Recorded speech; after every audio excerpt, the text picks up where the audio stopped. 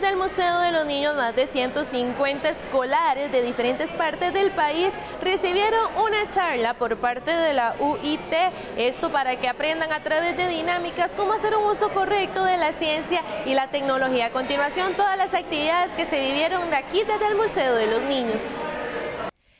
Recorrido de dos horas, el Museo de los Niños sirvió de escuela para estos pequeños y pequeñas que están conscientes de los constantes peligros a los que se exponen frente a una computadora.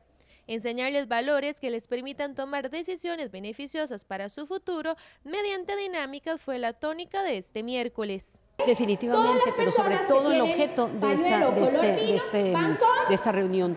Tenemos que enseñar a nuestros niños a tener cuidado con el uso de Internet. Tenemos que entrenar a los padres a que estén pendientes sobre lo que sus hijos están viendo y sobre lo que sus hijos están haciendo en Internet.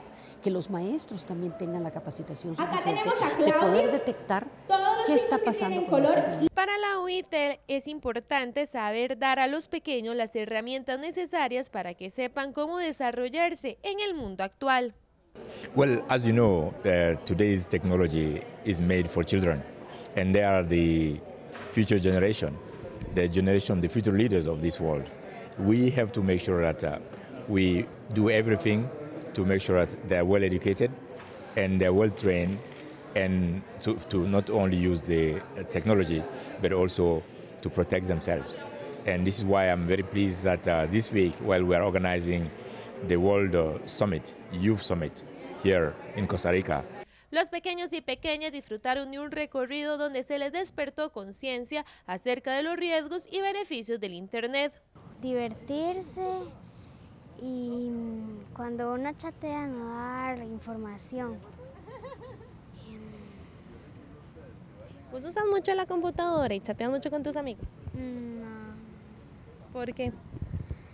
Es que a veces no hay señal, no, no entra, no carga. Pero la mayoría de veces chateas mucho. Sí. ¿Qué es lo que más haces cuando estás frente a la computadora? ¿Haces tareas, buscas información para trabajos, ves redes sociales?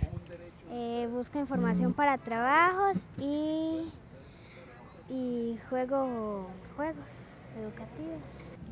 Steven, contame, vos accedes mucho a la computadora, al internet, al teléfono inteligente. La mayoría de veces, ¿con qué objetivo? ¿Hacer tareas, hablar con amigos, ver redes sociales? Todo. Me meto a chatear. Paso la mayoría del tiempo en la compu. ¿Cuántas horas al día pasas frente a una computadora? Como tres horas por ahí. Otra de las actividades realizadas por los participantes de Vine 2015 fue la visita al Indio Parque, cuyo objetivo fue el contacto con la naturaleza y la importancia de conservar el medio ambiente a pesar del desarrollo tecnológico y científico actual. Y este miércoles en horas de la mañana el recorrido que tuvieron los participantes de Vine 2015 fue precisamente en las instalaciones del Indio Parque.